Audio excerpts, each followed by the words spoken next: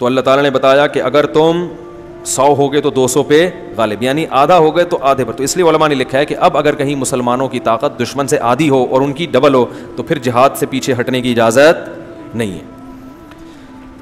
अल्लाह। और आधे का मतलब हर चीज़ में आधी। मिसाल के तौर पर आपके पास अफराद तो बहुत है, मगर असलहा में आप कुछ है ही नहीं।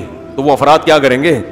एक आदमी अकेला बंदूक लेके आ रहा है या कलाशन कोफ लेके आ रहा है। इधर आप चार आदमी हैं तो आप उसका कुछ बिगाड़ सकते हो? तो आधे का मतलब ये नहीं कि सिर्फ़ अफराद में आधे, यानी ताकत और क़वत में क्या समझे जाओ? आधे समझे जाओ।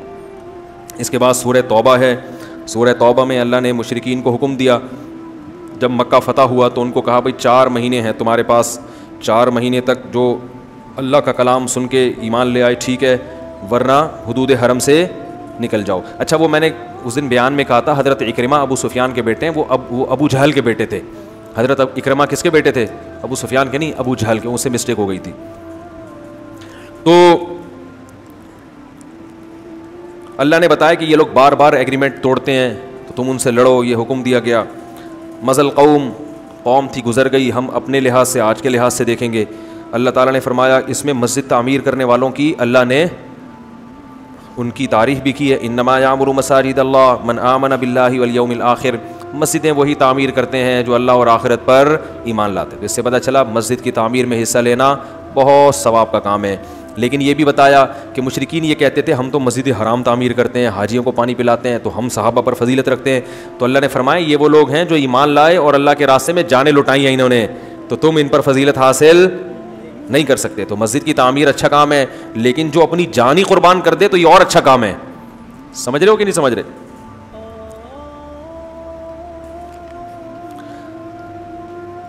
ये भी हुक्म दिया गया इनमल मशरकून नजसन फ़ला यक़रबुल मस्जिदल हराम आबाद आमिम हादा। ए ईमान वालो, मुशरकिन इस साल के बाद मस्जिद हराम में दाखिल ना हो। तो क़्यामत तक के लिए हदूद हरम से मशरकिन को निकाल दिया गया। इस्लाम में काफिर को कत्ल करने की इजाज़त नहीं है। मैदान जंग में तो है, वैसे नहीं है। और काफिर को दुनिया में हर जगह रहने की भी इजाज़त है। कहीं भी इस्लामी हुकूमत कायम होगी तो काफिर भी उसी इस्लामी हुकूमत में रहेगा। लेकिन अल्लाह ने अर्ज़ हिजाज को इससे मुस्तना किया है। वो चूँकि मुसलमानों का मरकज़ है, तोहद का मरकज़ है, वहाँ गैर मुस्लिम के दाखिले पर पाबंदी। और आज तक लिखा हुआ है, सऊदी हुकूमत ने आज भी बोर्ड लगाए हुए हैं कि यहाँ किसी गैर मुस्लिम को इससे आगे जाने की इजाज़त नहीं है। जाए इस्लाम कबूल करे, फिर वो अल्लाह के घर की ज़्यारत करे। गैर मुस्लिम कहते हैं, क्यों, हमें क्यों मना किया हुआ है? ये क्या बदमाशी है? तो भाई, वहाँ कौन सी कोई तफरी की जगह है? वहाँ खूबसूरत आबशारें होती और बड़े खूबसूरत ग्रीनरी होती। फिर आप कहते हैं ज़मीन के इस खूबसूरत इलाके पे मुसलमानों ने कब्ज़ा करके हमें वो बिल्कुल बयाबान ज़मीन है। और ये अल्लाह ने हमत है कि ऐसी जगह अपना घर बनाया जहाँ इंटरटेनमेंट का कोई सामान है ही नहीं। क्योंकि अगर वो ग्रीनरी होती, सात हज़ार फुट की बुलंदी पर होता, आबशारें होती तो किसी के दिल में वसवसा आ सकता था। असल में कोई बादशाह गुजरा था जिसको ये इलाका बहुत अच्छा लगा तो उसने कहा कि तफरी की तफरी, इबादत की इबादत, यहाँ घर बना लो। तो अल्लाह ने ऐसी जगह बनाया मैं, हम जब जहाज़ से जाते हैं ना, अरब कंट्रीज़ के ऊपर, इतने लंबे लंबे सहरा रेगिस्तान के आदमी थक जाता है यार, कोई घास का एक दिन का ही दिखा दो यहाँ तो मैं सोचता हूँ, इब्राहिम सलाम कैसे फ़िलस्तीन से मक्का गए होंगे, ऐसी रेत में और ऐसी शदीद गर्मी में। और अल्लाह ने कहाँ जाके उनसे घर बनवाया? जहाँ कोई आबादी नहीं, ना पानी, ना घास, ना तिनका। ये सब इस बात की अलामत है कि ये सिलेक्शन किसी इंसान की नहीं हो सकती। इंसान अगर इबादत के लिए भी कोई जगह चूज़ करेगा तो ऐसी यानी जाहिरी एतबार से बेकार जगह, जाहिरी एतबार से, जाहिरी एतबार से ऐसी जगह जाना घास ना फूस, सारों, चारों तरफ़ रेगिस्तान और एड़िया रगड़ रगड़ के इंसान मर जाए वहाँ पे। ये पेट्रोल तो अब दरियाफ्त हुआ है ना? और दरियाफ्त होके भी वो ग्रीनरी फिर भी नहीं आई। तो ऐसी बेबान ज़मीन में जाके इतना लंबा और फिर मक्का के पहाड़ काले काले काले से पहाड़ में बीच में जाके अल्लाह ने कहा, यहाँ मेरा घर बनाओ। तो ये इसकी अलामत है, ये किसी इंसान की सिलेक्शन नहीं है। वरना इंसान, इब्राहिम अलैहिस्सलाम इतनी दूर चल के ऐसी जगह क्यों जाते? वो कहीं और चले जाते आबाद ज़मीन में या कोई और करीब में बना लेते। तो अल्लाह ने वो जगह ऐसी बनाई है कि वहाँ इंटरटेनमेंट का कोई सामान नहीं है। वहाँ अगर कोई जाएगा तो सिर्फ़ बैतुल्ला की मोहब्बत में। तो गैर मुस्लिम को हम कहते हैं, भाई, आप तो इस बैतुल्ला को अल्लाह का घर मानते मानते हो तो फिर तो सारे मसाइल खत्म, इख्तलाफ ही खत्म हो गए मानते ही नहीं तो तुमने वहाँ जाके करना क्या है? क्या हो गया भाई?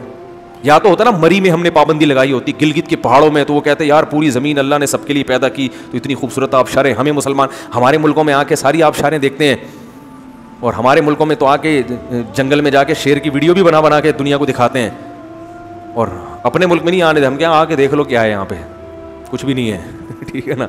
अगर कुछ आया भी है तो बाहर से ही आया है। तो वहाँ सिर्फ़ बैतुल्ला है और इब्राहिम अलैहिस्सलाम की दुआ है। जब बना रहे थे तो कुछ भी नहीं था वहाँ पे, लेकिन बैतुल्ला की तामीर करते हुए दुआ मांग रहे थे, ए अल्लाह, इस जगह को ऐसा बना दे कि लोगों के दिल खींचे चले आए। यह तहवी इलही अफ़ीदतुम अफ़ीदतुम मिनन्नास औ कमाकाल कि लोगों के दिल इसकी तरफ़ ऐसे आए जैसे पहाड़ से पत्थर लुढ़कता है ना, उसको रोकना मुमकिन नहीं होता। बड़ी चटान जब लुढ़कती है, ऐसे आए कि रोकना मुमकिन ना हो। तो हज के मौके पे परवाजें आप देखो जो उड़ती है ना, पूरी दुनिया से ऐसा ईमान ताज़ा होता है उसे देख के।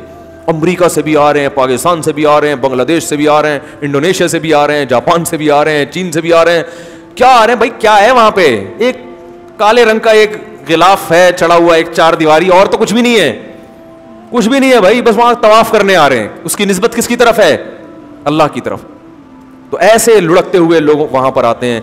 तो इसलिए गैर मुस्लिम को अल्लाह ने पाबंदी लगाई है, कहा कि तुम तोहहीद को मान लो, अकीद तोहहीद कबूल कर लो तो फिर ठीक है, तुम भी आओ, इस पर किसी की किसी की ये जागीरदारी नहीं है।